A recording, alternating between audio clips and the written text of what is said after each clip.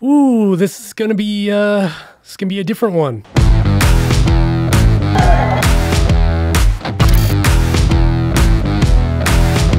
Well, hey everybody, welcome back to my channel. I'm Dave from Chase the Summit, and if you haven't noticed, if you've been around my channel, I usually post pretty consistently, but it's actually been a couple of weeks since I've last posted, and that's for one very good reason.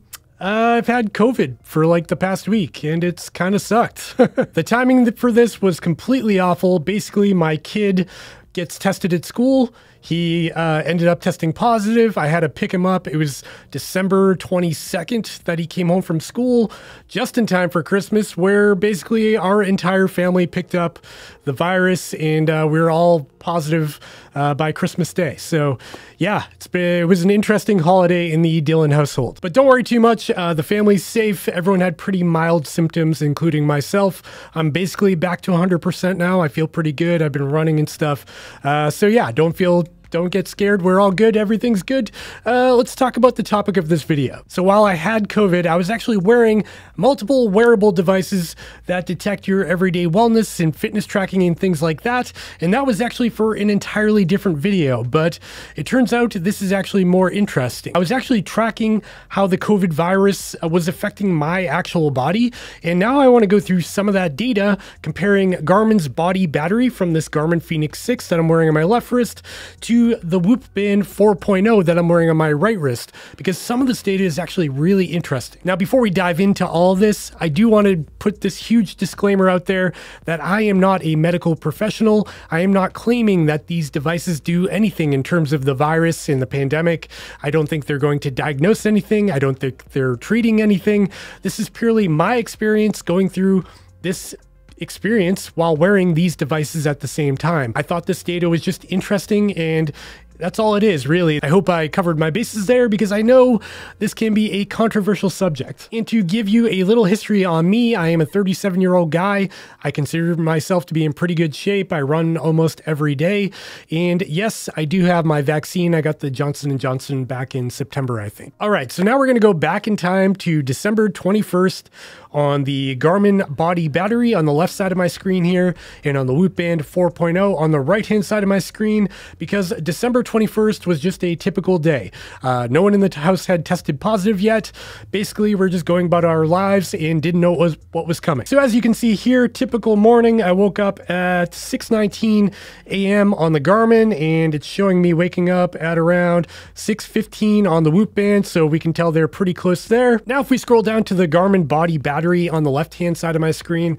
Uh, you can see that I got a good night's rest and that my battery charged up to 82%, which is great. You can also see that there's not a lot of orange on this graph, and that indicates that I had a pretty restful day with pretty minimal stress. However, if you look at the end of the day, this is pretty interesting. You can see that there is some orange spikes near the end, and that indicates that there was some stress right before I went to bed. Looking over at the Whoop Band 4.0 for December 21st, same day, you can see that I had a recovery score of 75, which is again pretty good, and it's right in line with that high of 82 from Garmin's body battery.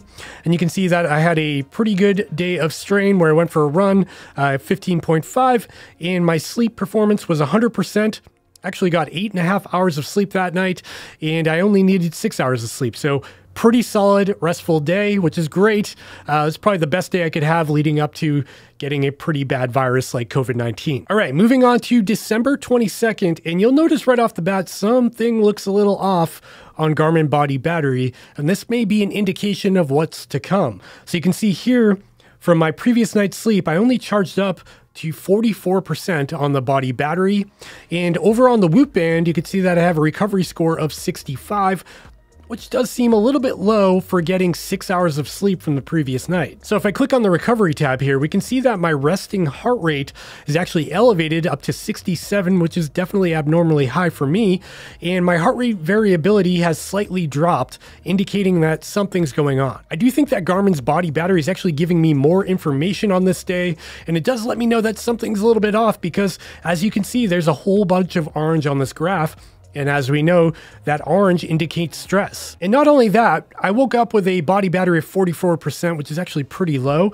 And my low for the day is actually five, a body battery of five. And that is extremely low. The only time I've ever seen That low of a number is basically at the end of an ultra marathon. Quick interruption. If you're finding this video helpful or entertaining or anything like that, maybe click the subscribe and like button down below because that really helps me out. Okay, back to the video. Okay, now we're getting into the interesting stuff. We're moving on to the day that is December 23rd, and December 23rd is the day that I tested positive for COVID-19.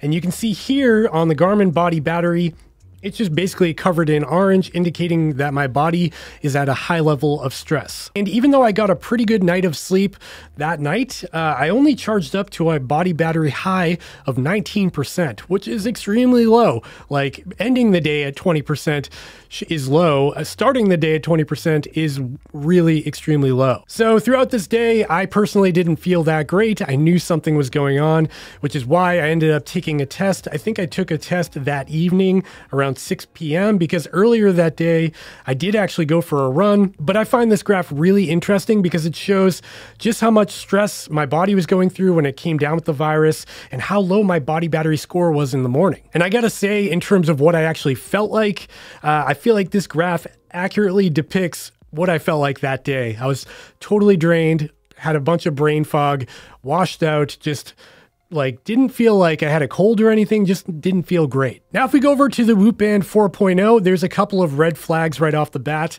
If you look in the upper right corner here, you can see that my recovery score is 18%, which is very low from the previous night's sleep because I actually got almost eight hours of sleep and I only needed about seven hours and 48 minutes.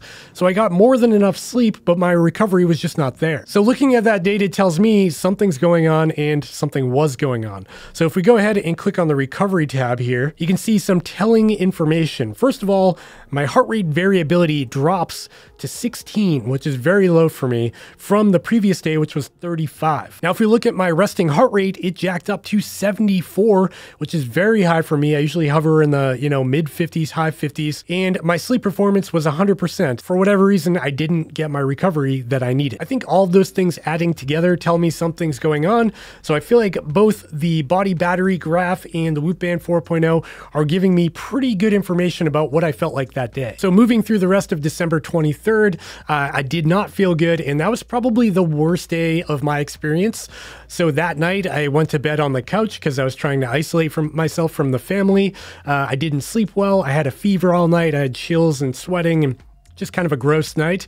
It was not good. Okay, moving on to December 24th or Christmas Eve, as it were. Uh, things got a little bit better this day. I woke up feeling a little bit more me, a little less feverish and things like that. Uh, and as you can see here, my body battery actually went up to 42%, which seems a little bit high for the way I was feeling, but okay. Uh, as you can see, there's still a bunch of orange on the graph, indicating that my body was still under a lot of stress and trying to recover from this virus. And by the end of the day, I ended up with a body battery again of five, and I didn't do anything this day. I basically sat on the couch and, you know, ate chicken noodle soup and did my best to uh, take my vitamins and drink a lot of water and try to recover. And that's really all I did. So draining down to five by the end of the day seems very low. Now, if we look over at the Whoop Band 4.0, we can see that I got a 62% sleep score, which means I did not sleep very good and I only got four hours and 57 minutes of sleep when I needed seven hours and 57 minutes. So I definitely didn't get close to my sleep goal. And this also attributed to that low recovery score of 39%. And as you can see, that 39% is pretty darn close to the 42% that Garmin gave me so they're lining up pretty good here. If we dive into the recovery tab, we can see that my heart rate vari variability went up a little bit to 27 from the previous day of 16. And my resting heart rate decided to drop a little bit down to 72 from the previous day of 74. And in general, I feel like both the Garmin Body Battery and the Whoop Band 4.0 kind of line up here and they're trying to tell me the same data that I wasn't doing great, but I also was better than the day before. And I'd say that's pretty accurate. Uh, I think on December 24th, I started to feel a little bit better. Okay, moving into December 25th on both the Whoop Band and the Garmin Body Battery, uh, there was a huge disparity on this day, and I'm not really sure why. So Garmin shows that I woke up with a high of 35% on my body battery which feels very low because I actually felt pretty good on Christmas morning. Uh, I had my coffee, kids were opening gifts. Things was things were pretty good for me, and it was a pretty chill day overall. Uh, I didn't feel overly sick or feverish or anything like that, but Garmin is telling me that I did not get a good night's sleep from the previous day, and I still drained down to a body battery of 5 by the end of the day, which is not great. Now, if we look over at the Whoop Band 4.0, it's a little bit of a different story. We see a recovery of 69%, which is pretty good. However, my sleep was not great, so that may be what's leading uh, the Garmin into giving me a pretty low body battery. I'm not really sure. You can see that I was recommending I get nine hours of sleep. That's definitely not going to happen on Christmas Eve with four kids in the house. And I only got five hours of sleep. So that definitely seems uh, like the culprit of what made me feel a little bit sluggish on Christmas Day. But the Whoop Band 4.0 does show that I have a recovery of 69%, which is kind of interesting uh, because you can see my heart rate variability actually goes back up to 38, and my normal is usually like mid 40s, you know, low 40s. So 38 isn't too far off. My resting heart rate drops all the way down to 60, which is a lot better than the previous day of 72. All right, I know this information is getting a little bit dense, so I'm just going to fast forward a little bit to a good day so we can kind of contrast those bad days to a good day and what it looks like just a few days later after I recovered from the COVID-19 virus. So on December 28th, you can see here on the left-hand side of the screen, Garmin's body battery shows me charging up to 83% in the morning after my sleep, which is great compared to those other numbers we were seeing before. Looking over at the Whoop Band 4.0, it's much the same. I've got a recovery score of 94%, saying I'm almost 100% recovered.